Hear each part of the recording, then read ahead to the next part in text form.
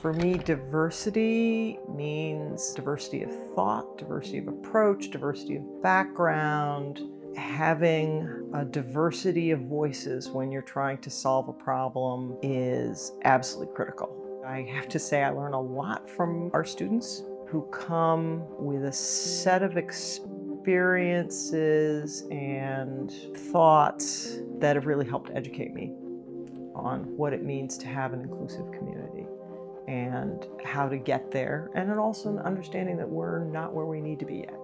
Take advantage of the breadth of opportunities here at Stanford.